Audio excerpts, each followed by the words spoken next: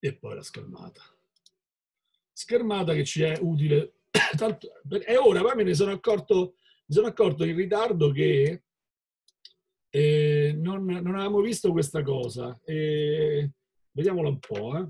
Dunque, noi, eh, dunque, argomento numero uno di oggi è la legge del contrappasso.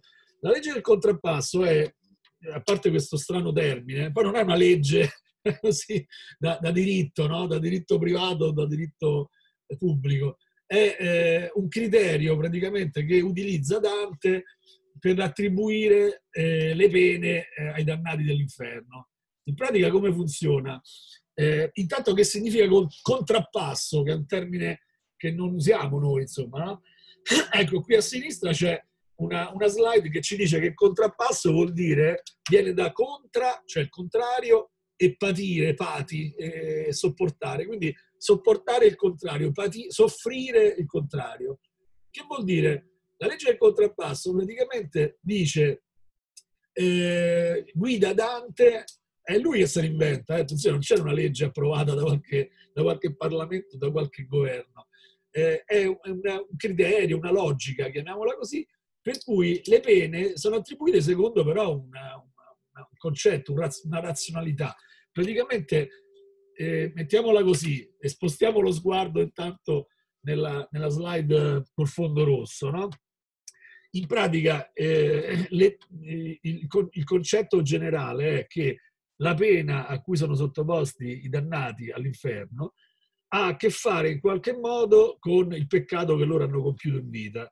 Ma noi già l'abbiamo vista una, appunto è ora di parlarne, no? Negli ignavi praticamente, vi ricordate, abbiamo già visto che poiché in pratica il loro peccato era consistito nel non prendere posizione, nello scegliere né il bene né il male, come avete detto anche un vostro esercizio, cioè in pratica nel non muoversi dal punto di vista morale, ecco, dal punto di vista della pena a cui sono sottoposti, invece eh, la pena è il contrario di quello che hanno combinato in vita, cioè gli ignavi fermi, una vita statica dal punto di vista delle scelte che avrebbero potuto fare, eh, eh, si tramuta come pena no? in correre continuamente per l'eternità, punzecchiati da animali, no? vi ricordate? E correre praticamente dietro a un'insegna priva di qualsiasi senso, quella bandiera che si muove vorticosamente percorrendo il cerchio no? in cui loro sono rinchiusi per l'eternità. Quindi ecco, in questo caso, ad esempio, la pena è, attenzione, ecco, ecco i due criteri no, del contrappasso. Quindi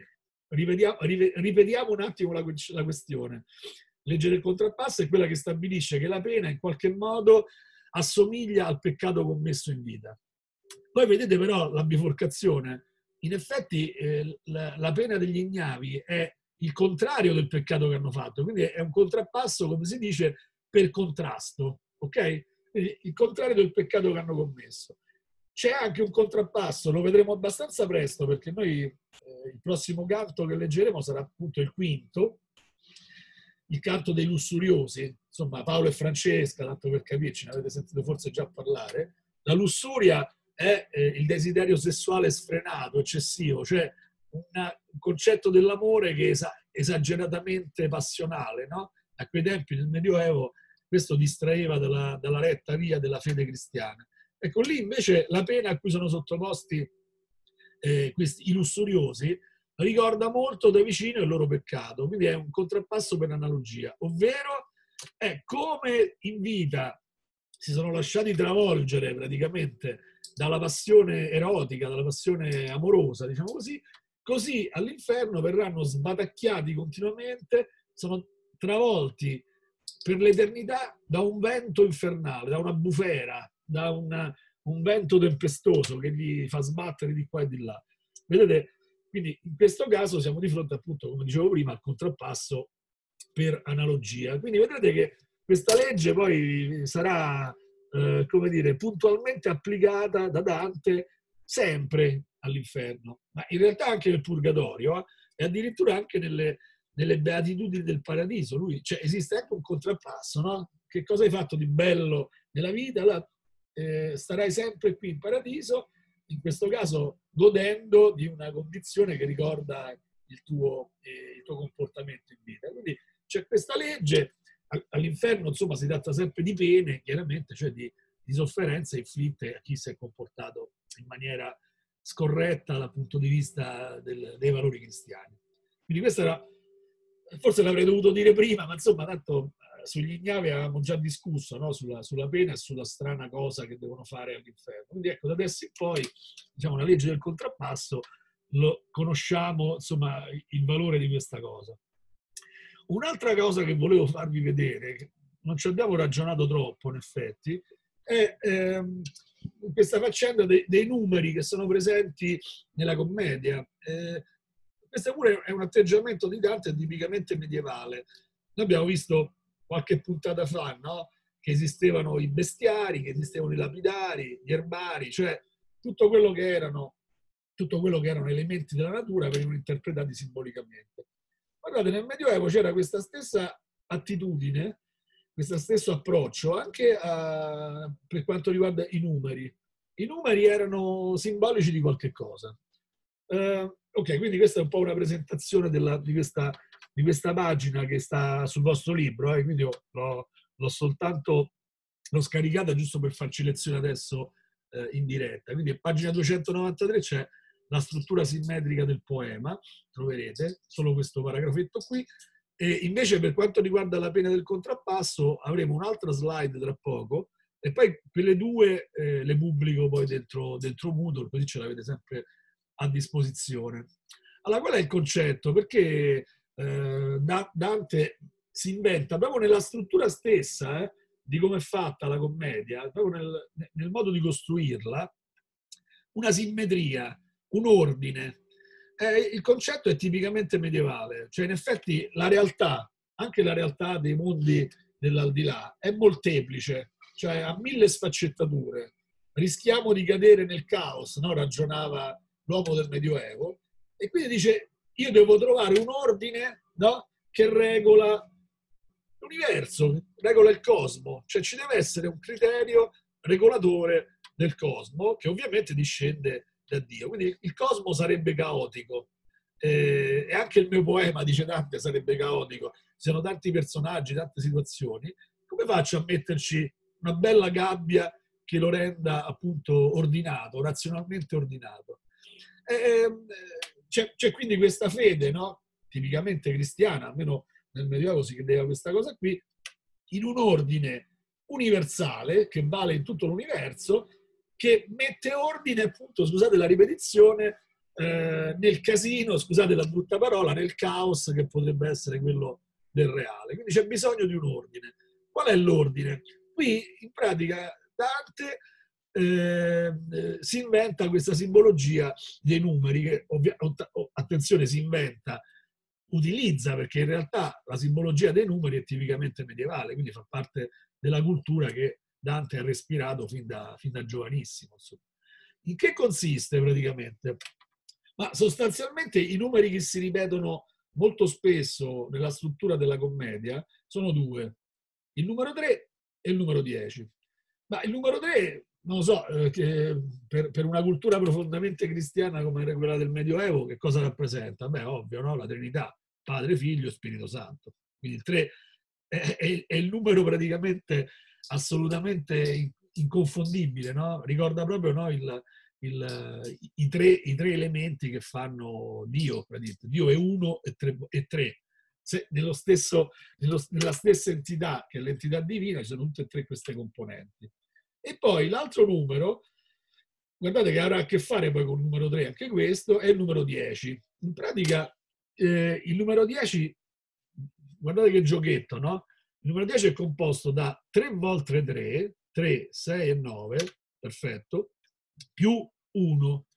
3, 3, 3 è sempre la Trinità che viene ripetuta tre volte in quel numero, il numero 10, e 1 è chiaramente è Dio.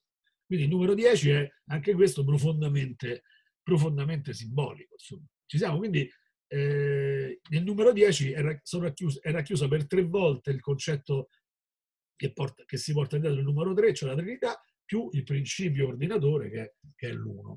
Il 3 e il 10, adesso vediamo un po', mettiamo un attimo alla prova questa nostra eh, anticipazione e li troviamo sempre nella, nella commedia, proprio nel come è fatta. Esempio, beh, l'esempio più, più straordinario è che la commedia è fatta da tre cantiche, inferno, purgatorio e paradiso.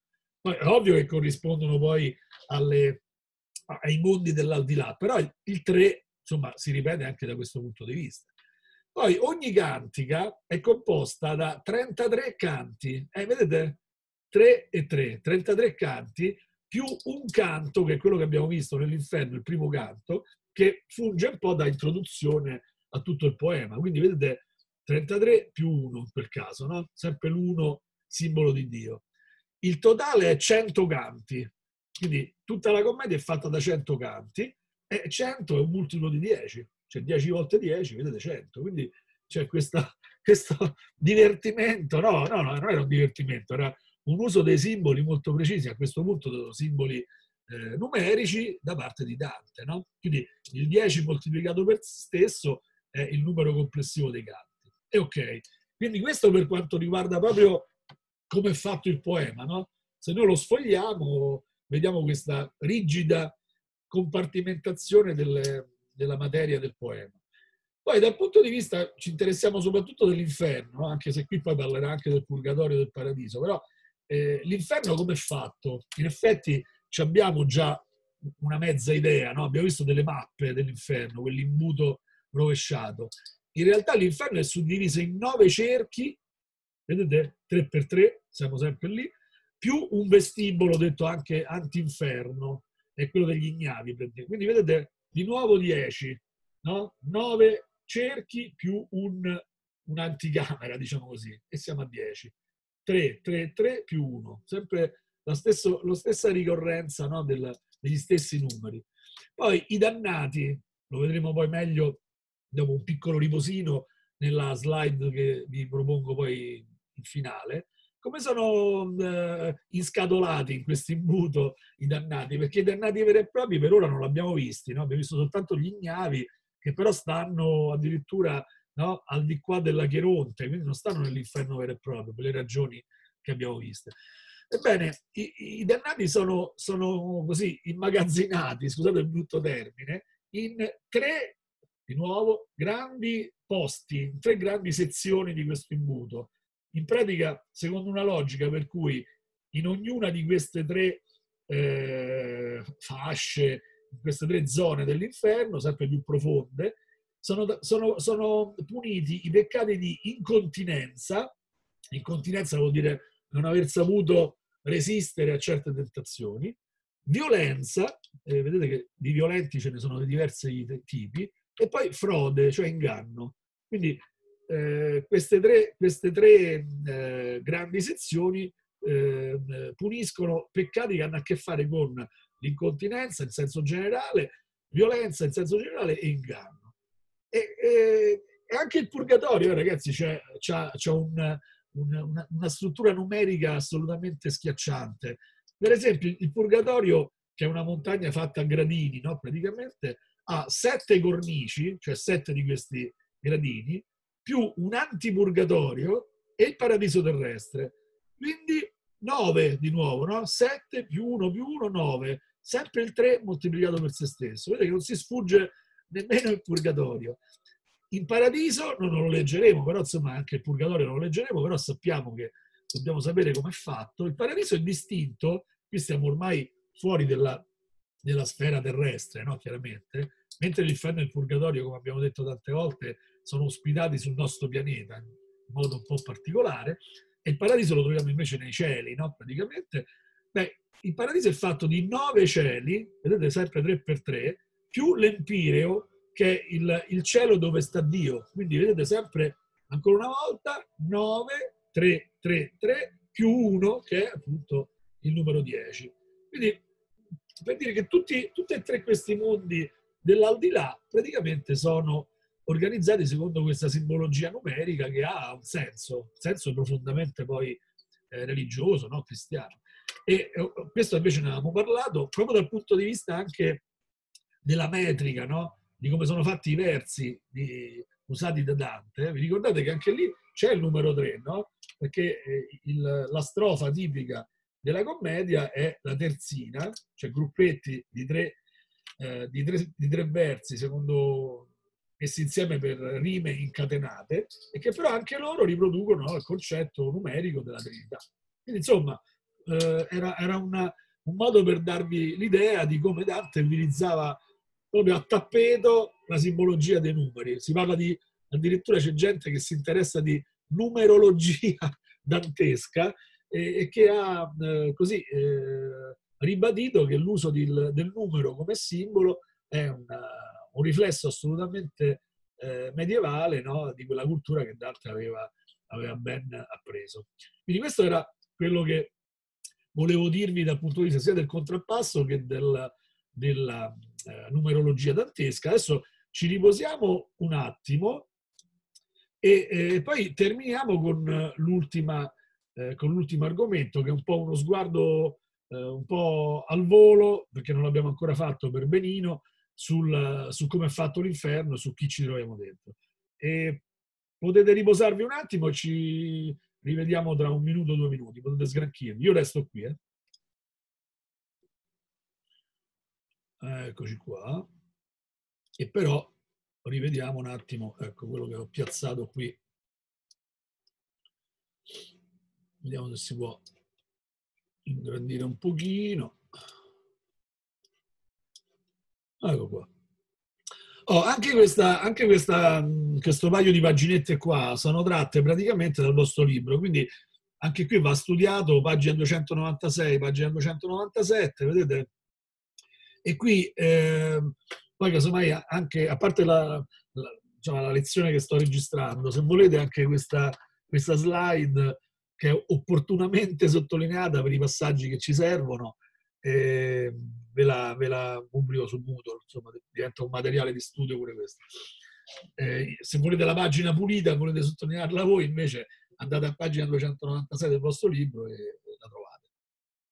Allora, qui c'è eh, alcune cose le abbiamo già dette, insomma, quindi noi ci passeremo sopra uh, un po' al volo, però vedete in pratica è il microsaggio, che è questo su fondo celestino chiaro, ci, ci, parla della configurazione fisica, però anche morale dell'oltretomba dantesco. Che vuol dire? Siamo all'inferno e eh, ci vuole dire come è fatto l'inferno. Ci abbiamo girato intorno un po' di, un po di volte, no? Adesso andiamo proprio dentro. E, eh, però che senso c'ha averlo pensato in questo modo? Quindi a livello morale, a livello di insegnamento, no? che è sempre l'obiettivo numero uno di Dante, no? ci fa fare questo viaggio perché vuole dirci eh, diverse cose, come, come, dobbiamo comportarci, vuole dare dei modelli, no? Quindi ecco, perché l'inferno è fatto, cioè come è fatto l'inferno e perché, si potrebbe dire, traducendo questo titolo un po' complicato. Tutto quello che abbiamo, ecco, che io non ho sottolineato, però ecco, magari voi leggetevelo, eh, riguarda praticamente i primi passi, no? Eh, abbiamo già fatti, eh, la selva oscura, il collo illuminato dal sole, la salvezza, quindi che viene simboleggiata, poi il fatto che Beatrice ha, ha spinto Virgilio ad andare ad aiutare Dante, bla bla bla, ok. Sulla scelta di Virgilio, ecco qui, ne abbiamo parlato diverse volte, anche quando si è presentato sulla scena, no? nel primo canto, quando ha consolato Dante rispetto alla presenza della lupa, no? che era stato l'animale che lo aveva spaventato di più, e poi gli dice guarda ti conviene che mi segui e facciamo un viaggio diverso per arrivare eh, a, a, riprendere la fede. E Virgilio è stato scelto per diversi motivi. Attenzione che per, potrebbe, potrebbe, esserci una domandina, potrebbe, potrebbe esserci una domandina eh, tra qualche minuto a cui dovete rispondere. Quindi ecco, qui c'è già la risposta praticamente. Virgilio viene scelto come guida della parte del viaggio che ha a che fare con i mondi eh, ospitati dal nostro pianeta. Quindi l'inferno e il purgatorio, ricordiamocelo sempre, stanno qui, su questo pianeta. L'inferno è nel sottosuolo, diciamo così, arriva al centro della Terra e invece il purgatorio sta nell'emisfero australe dove praticamente non si poteva mettere piede perché secondo la concezione geografica del Medioevo lì c'era solo oceano, più c'era in mezzo a questo oceano quest'isoletta che ospitava il cono no? della, della montagna del purgatorio. Il paradiso invece sta fuori del nostro pianeta. Però sì, tornando a bomba sul perché Virgilio è stato scelto. Beh, nel, ci sono delle ragioni eh, culturali che non appartengono effettivamente solo a Dante, e invece eh, motivi personali appartenenti a, a Dante. Insomma. vediamo i primi, il, il primo motivo. Nel Medioevo Virgilio era considerato l'uomo più sapiente dell'antichità, cioè il, il saggio no? numero uno di tutta l'antichità greco-romana. Eh, come mai? Eh, beh, l'Eneide, no? un poema molto ricco, molto forte, eh, ma anche altre, altre, produzioni letterarie di questo poeta, le, le georgiche, le bucoliche, insomma, un grande poeta che eh, viene immediatamente preso come esempio, come modello di, di cultura, di, insomma, di, eh, di, sapere, di saggezza della, della, del mondo greco-romano. Eh, lui rappresenta anche, vi ricordate, no, il massimo punto di arrivo della ragione umana senza però la rivelazione divina, cioè lui non era un cristiano, quindi ecco, lui è arrivato fino ai massimi vertici, però avrebbe potuto andare oltre se eh, fosse vissuto in un'età cristiana. Non l'ha fatto, non è successo. Eh, secondo motivo, più o meno correttamente, io direi più o meno che più, Virgilio passava nel Medioevo, sempre quindi è una ragione, come dire, generalmente culturale di quel periodo, Virgilio passava anche come profeta della venuta di Cristo sulla terra. Come mai? Eh, eh, ho parlato di bucoliche. Nella quarta bucolica, che è un poemetto, diciamo così, lui parla di, uso il termine latino, di un puer, cioè di un bambino che riporterà fra gli uomini l'età dell'oro, cioè l'età in cui non c'era nemmeno bisogno di lavorare, c'era concordia fra tutti, ci volevamo tutti bene, avevamo a disposizione tutti i frutti della terra per vivere in pace, in tranquillità e in abbondanza. Ora, eh, ovviamente nel Medioevo eh, gli occhiali che portavano, eh, diciamo così, fa identificare questo fanciullo di cui parla Virgilio, ma prima di Cristo chiaramente, con Gesù. Eh, in realtà, adesso qui il vostro libro non lo dice, però lui si riferiva a Augusto, cioè l'Eneide viene scritta anche per fare un piacere no, all'imperatore Augusto, che è direttore appunto del regime principesco, del, del regime eh, imperiale a Roma, e eh, l'Eneide nasce anche per questo, cioè per, eh, come poema di propaganda su quello che aveva combinato Augusto di buono. Quindi ecco, nelle bucoliche si parla di questo bambino, ma cioè, sicuramente con Gesù non c'entra un accidente, ma si alludeva all'arrivo poi di Augusto, che tra l'altro Virgilio aveva visto.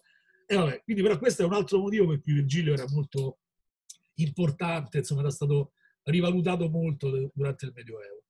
Poi, terza e ultima, terza e ultima, terzo e ultimo motivo culturale per cui Virgilio era considerato così importante in quell'epoca, beh, Virgilio aveva, aveva cantato nell'Eneide le gesta di Enea, che praticamente da lui, no, nella, in una successione eh, storica, secondo il mito, sarebbero nati poi Romolo e Remo, quindi i fondatori di Roma. Quindi eh, Enea in fondo è il capostipite, no? il, l'antico antenato eh, dei fondatori di un impero che avrebbe governato sul mondo.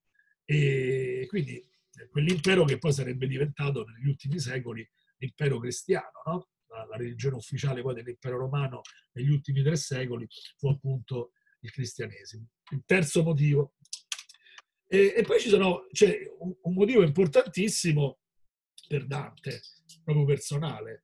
Ce l'ha detto anche in diretta, no? vi ricordate quando uh, lo incontra? Dante dice tu sei il mio maestro, il mio autore, cioè per Dante Virgilio è, è l'esempio numero uno dello stile no? che lui utilizza quando, quando, scrive in latino. Sapete che la produzione di Dante, eh, il grosso è il latino, poi c'è la commedia, altre cosette più o meno minori che sono in, in volgare italiano. Quindi ecco, però per il latino, eh, appunto, Virgilio è stato il suo modello, il suo modello di riferimento. Quindi, come vedete, la scelta di Virgilio è dettata, è dettata da eh, una considerazione molto grossa che questo poeta dell'antichità romana aveva nel Medioevo. Più c'è anche quel motivo no, di particolare eh, come dire, attenzione che Dante ha, ha riversato uh, nelle opere e, e, nello stile latino del, del suo, di quello che lui chiama il suo maestro, anche se i due ovviamente non si sono mai conosciuti, è stata una conoscenza uh, sui libri, no? Chiaramente. Bene, chiarito questo perché è importante, eh, una volta per tutte, diciamo così, andiamo a vedere come è fatto l'inferno brevemente, eh, non voglio uccidervi, eh, come è fatto l'inferno e perché? E secondo quale logica? Perché qui non, ci, non si scappa, non c'è niente di casuale, eh, ragazzi, nella, né nella cultura né medievale né soprattutto nella commedia, che della cultura medievale poi, eh, se vogliamo, una delle massime produzioni, uno, massimi, uno dei massimi risultati. Allora, qui insomma, se, se qualcuno non l'avesse ancora capito come è fatto l'inferno, no? la forma a imbuto, e vedete eh, un imbuto però solcato da quelli che vengono chiamati cerchi, cioè sono delle cornici, no? dei rilievi praticamente che via via che andiamo giù sono sempre più stretti, che praticamente corrispondono appunto a, a, a delle divisioni di questo, di questo imbuto. Quindi non immaginate un imbuto dalle pareti lisce, altrimenti tutti precipiterebbero. È un imbuto no, che man mano si stringe eh, con dei cerchi concentrici sempre più stretti, appunto. E, e qui ovviamente insomma, beh, ci siamo arrivati pure da soli, senza che il libro ce lo dicesse, i dannati stanno dentro questi cerchi e sono distribuiti appunto a seconda dei peccati commessi. Quindi eh, la logica è sempre alto contro basso, no? Cioè più si va giù all'inferno e più si entra in peccati, insomma, in cerchi che ospitano peccatori di peccati sempre più gravi, no? Chiaramente. Partiamo dall'alto. ecco, eh, vedete qui più, più, o meno corrisponde a, questa, a questo livello qui. Vedete, appena superato la Cheronte, non lo sappiamo noi come lo supera Dante la Cheronte, perché lui sviene, no? Eh, nel, lo vedremo poi successivamente, però entriamo nel primo cerchio, che è chiamato anche limbo. Vedete, eccolo qua, no? Il limbo è, tra l'altro, voglio subito eliminare la suspense, il limbo è il posto dell'inferno dove sta di solito Virgilio, poverino. E lì abbiamo già commentato, no? quando abbiamo parlato di Virgilio, eh, non eravamo molto d'accordo su questa scelta, però tenete presente che lì sono destinati a stare per l'eternità lì, uno, i bambini che sono morti appena nati e non hanno potuto avere il battesimo, quindi tutti i bambini neonati non battezzati. Due, persone nate prima di Cristo, però giuste, cioè che si sono comportate bene, solo che purtroppo non avendo avuto modo di incontrare la, la religione cristiana, purtroppo non sono cristiani, non sono stati battezzati, anche loro, e quindi sono destinati a non andare mai in paradiso. E eh, dove si trovano? Beh, i, i, più fichi, tra virgolette, cioè i grandi poeti, per esempio, i grandi filosofi del mondo classico, del passato, qui trovate Aristotele, un sacco di gente, insomma, poi ne vedremo, eh, vedremo un breve elenco in una prossima puntata, eh, si trova in una specie di, di castello lumina, illuminato però di luce, una specie di sfera luminosa che li tiene alla luce dentro invece l'inferno che di solito invece l'abbiamo, insomma, l'abbiamo spesso accostato al buio, no? Alla, all'oscurità. No, sì, Scusi, scusa. ma la spiegazione quando finisce e poi iniziano gli esercizi? E guarda, la spiegazione finisce per 10 minuti. Poi, okay, poi sono gli esercizi. Sì, sì, sì. Li, li, vediamo attimo, li, vediamo un attimo, insieme e poi vi do il tempo. Ok, grazie. Prego, figurati. Quindi nel limbo eh, è ospitato anche, perché corrisponde all'identikit che vi ho fatto, no? quindi grandi poeti e grandi filosofi del mondo classico, e Virgilio alla faccia se non era considerabile così, che però stanno lì. La pena lì praticamente, poi lo vedremo meglio quando ne parleremo al volo, eh, qual è? È quella di desiderare eh, il contatto con Dio, ma di non trovarlo mai. Quindi ecco, la pena non è fisica, non è una sofferenza ovviamente eh, materiale, è una sofferenza tutta psicologica, cioè loro vivono nell'eternità, nella desiderio eh, fortissimo di andare in paradiso, ma non, non, non riusciranno mai ad andarci. A me non sembra giusto, ma insomma questo faceva parte insomma, della, dell'ideologia tipicamente medievale. Oh, i, peccatori, I, peccatori veri e propri, invece, ecco, dopo, dopo il primo cerchio si entra poi nell'inferno che ospita i peccatori veri perché dico così? Beh, abbiamo già visto nell'antinferno, no? Vi ricordate, stavamo qui al di là della Cheronte, eh, se guardiamo tutto da, da, dentro l'inferno, gli ignavi stavano nell'antinferno, quindi non erano peccatori veri e propri, no? Anche se, insomma, la loro pena non è proprio gradevole. Nel limbo non c'è nessuna pena corporale, diciamo così, e ci sono i non battezzati. Ecco, dal secondo cerchio in poi finalmente entriamo nel, nell'ambito dell'inferno vero e proprio, dove si eh, dove sono stati condannati i peccatori veri, insomma, peccatori che hanno commesso dei peccati reali. E, e, e, qui entriamo appunto in quello che abbiamo detto prima, no? ci sono tre tipologie, diciamo così, eh, di peccati. Eh, la prima tipologia è l'incontinenza. Chi ci troviamo dentro? Ecco, guardate qui. Vedete, gli incontinenti, ecco, io ho, ho messo, ho sottolineato chi troveremmo, no? E poi se volete dare intanto che io lo dico un'occhiatina qua sopra, eh, trovate appunto eh, i posti, i luoghi no, dell'inferno dove questi peccati sono, sono puniti. Incontinenza, ripeto, l'ho detto prima, significa non aver saputo resistere a, a, a istinti, a pulsioni peccaminosi.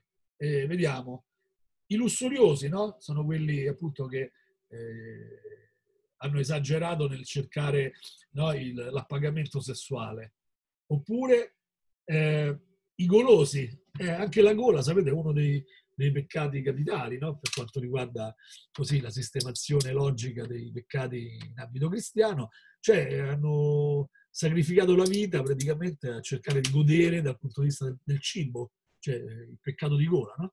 Gli avari e i, pro, e i prodighi, cioè in effetti sembrerebbe un controsenso. Chi è avaro tiene, no? si tiene per sé la roba, i soldi, i prodighi invece la, la disperdono, la, la, la, spendono senza logica. Ecco, in entrambi i casi no, i, i, i due, le due tipologie di peccatori eh, non hanno resistito a questi impulsi che eh, erano per loro irrefrenabili. Eh, invece poi ci sono, una volta che superiamo, vedete qui c'è se guzzate lo sguardo sembrano delle mura, no? Sì, in effetti sono delle mura, eh, delle mura intervallate da torri. Quella che eh, poi, marcando queste mura, incontreremo si chiama città di Dite. Dite è eh, un, eh, la, la solita, il solito prestito che Dante effettua, eh, eh, diciamo, per quanto riguarda la mitologia classica. Dite è il sinonimo di Plutone, Ade, cioè una divinità infernale della della vecchia mitologia greco-romana e qui la città di Dite ci fa entrare poi eh, più o meno nel, nel, nell'inferno poi più profondo. E lì chi troviamo? Seconda tipologia di peccati, i violenti. Ma i violenti, insomma, vedete come Dante poi entra nel merito. Beh, si può essere violenti in tanti modi. Intanto, guardate, troviamo subito, ecco qua, vedete, nel sesto cerchio, gli eretici. Gli eretici sono quelli che non hanno creduto in Dio praticamente, coloro che hanno rifiutato eh, il contatto con la, con la, religione cristiana pur potendolo fare in questo caso e ne troveremo, eh, lì entreremo, andremo a vedere insomma qualcuno, soprattutto un personaggio importantissimo, eh, molto eh, drammatico. Poi i violenti contro il prossimo, è, è la classica violenza no? che tu eserciti contro qualcuno, oppure i violenti contro se stessi, i suicidi praticamente. Abbiamo esercitato in quel caso violenza contro il nostro corpo, come vedremo, e poi altri tipi di violenza, i violenti contro Dio, in che senso? Non perché avessero voluto fare del male fisicamente a Dio, ma i bestemmiatori, per esempio, stanno lì. Si è, ci si è rivolti con violenza contro il nostro creatore. I violenti contro natura, contro la natura, Qui per esempio sono condannati, pensate, gli omosessuali. Beh, tipicamente medievale questa cosa, no? Cioè la sessualità serve nel Medioevo a, eh, alla procreazione, quindi è consentita solo a livello morale a un uomo e a una donna. Eh, chi invece è omosessuale chiaramente trasgredisce questa cosa, anzi fa della sessualità un vizio, no? Peccato. Oppure i violenti contro l'arte. Attenzione, l'arte nel senso di lavoro produttivo. Cioè tutti quelli che praticamente, per esempio gli usurai, succhiano denaro a chi, a chi con violenza, molto spesso, a chi invece guadagna eh, soldi con il sudore della fronte. Quindi gli usurai sono eh, violenti contro il lavoro. Vedete che strana cosa, no? E eh, una volta che e poi, eh, seguendo nel viaggio Virgilio e Dante, ci caliamo in questa ripa scoscesa, una specie di grossa, grosso gradino, no? grosso gradino, siamo poi, stiamo per entrare poi nel, nell'inferno veramente profondo. E, e il, questa parte qui, vedete questa divisa in, in, tanti, in tanti, pezzettini, eh, sono le, le, bolge, 10, sempre 3, 3 più 1. Le bolge sono questi contenitori, no? se vogliamo, no? all'interno di questa ultima parte dell'imbuto, dove sono contenuti i fraudolenti. Per, per, tradurre, coloro che hanno ingannato in qualche modo. Anche qui c'è una, una divisione notevole, guardate, cioè i fraudolenti sono divisi in due grossi gruppi. Coloro che hanno usato inganno verso chi non si fida, eh, appunto, fa, eh, faceva bene, chi sono? I ruffiani e i seduttori, è quelli che, insomma, eh, lo dice lo stesso termine, no? Lo usiamo anche noi spesso, quelli che attraverso il loro fascino, il loro sistema seduttivo hanno ingannato qualcuno, oppure gli adulatori, eh, sempre per i loro fini, parlano benissimo di qualcuno, eh, cercando di ingannarlo e di fargli prendere decisioni a loro vantaggio, gli adulatori. I papi simoniaci, ecco qui troviamo anche dei papi. Simoniaci che vuol dire che eh, approfittando del loro ruolo importante hanno guadagnato, hanno fatto soldi attraverso la corruzione, ahimè. Esistono pure quelli, Dante è molto severo ovviamente, oppure sempre nel campo dei, dei fraudolenti verso chi non si fida, gli indovini. Eh, l'indovino era quello che fa finta di sapere il futuro, era condannato dalla religione cristiana. Dice, ma quando mai? Sei, un, sei uno che vuole ingannare la gente, insomma. E i barattieri chi sono? I corrotti. Oggi sarebbero i, i pubblici ufficiali corrotti, cioè uomini politici, eccetera, che si sono fatti corrompere per agire in favore di qualcuno che li ha pagati, praticamente. Barattieri. Gli ipocriti, eh, è un peccato anche l'ipocrisia, i ladri anche, quindi i ladri spesso utilizzano le loro arti, diciamo così, di inganno per ottenere poi quello che vogliono. E, oppure, vedete, i consiglieri di frode, cioè che vuol dire quelli che hanno consigliato altri a ingannare altri, quindi che hanno trasmesso questa loro eh, così, caratteristica ad altri, quindi li hanno, li hanno perduti no? anche loro, no? ovviamente. Oppure i, i seminatori di scismi e discordie, quelli che in ogni situazione trovano il modo di dividere la gente, di fargli prendere eh, posizioni opposte. Ecco, lo scisma è tipicamente quello che succedeva nel Medioevo, no? quando nascevano delle eresie contro eh, la Chiesa di Roma, no? per esempio, ad esempio. Oppure, eh beh, i falsari, beh, questi sono i tipici fraudolenti, no? quelli che falsificano praticamente denaro, qualsiasi documento, eccetera, per ottenere eh, un vantaggio. Poi ci sono, poi ci sono come vedete, i, eh, coloro che eh, hanno ingannato chi si fida e questi sono i traditori, quelli che purtroppo hanno tradito la fede, no? la, la, fiducia che qualcuno aveva in loro e li hanno ingannati. Chi ci troviamo dentro velocemente? Traditori dei parenti. Beh, il parente si fida di te, no? Se tu lo tradisci, sai, compi un peccato gravissimo, stai parecchio giù nell'imbuto, i traditori della patria. Beh, ovviamente non c'è niente da, da, commentare, credo. I traditori degli amici, anche un amico ha a che fare con te si fida, se no che amico sei. E addirittura i traditori dei benefattori, questi sono tra i peggiori, nel senso che tu mi hai fatto del bene e io se posso ti frego, ti, ti, ti, ti tradisco. Quindi con l'inganno, insomma, faccio del male a chi invece mi ha fatto del bene. E qui arriviamo all'ultimo, all'ultimo, eh, all'ultima parte dell'inferno, conosciamo Lucifero, qui si intravede, poi magari faccio vedere qualche altra immagine quando ci arriveremo.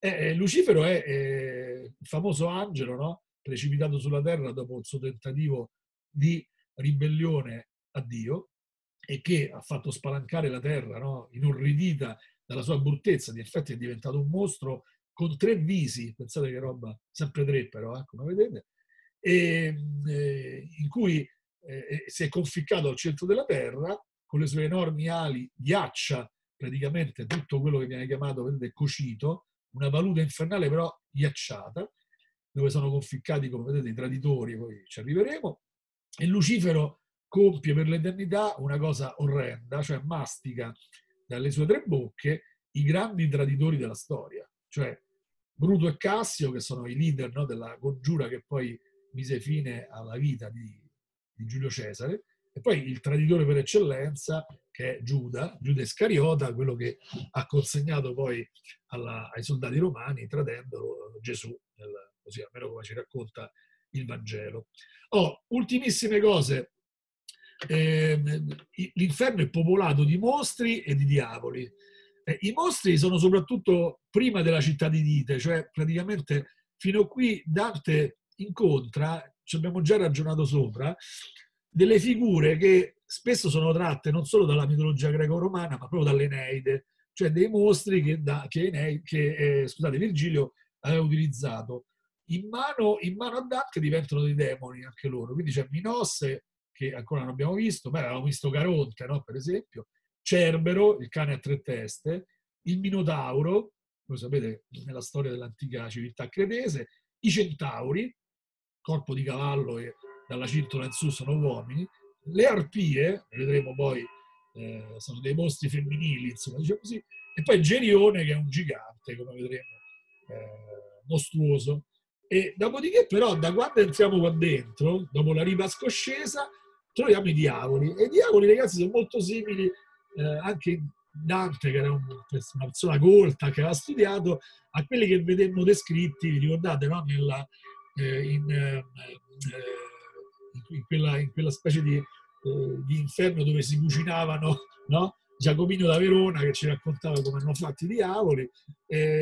Sono corpo peloso, ali di pipistrello, corna, zanne e spesso fanno anche gli spiritosi, come vedremo c'è un pezzo che poi leggeremo dove sono, sono quasi in possesso di una specie di comicità, tra virgolette, eh, molto volgare nei confronti di Dante. Quindi questo è un po', mi rendo conto che una parecchia robetta da digerire, quindi le domande oggi non riguarderanno questa, questa parte della lezione. E questo era però, ecco, come fatto, come è fatto l'inferno e secondo quale, quale logiche. E, e, qui la lezione sarebbe, sarebbe finita.